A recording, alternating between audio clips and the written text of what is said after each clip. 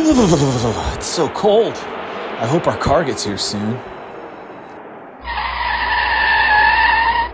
Oh, thank God. I think this is our guy.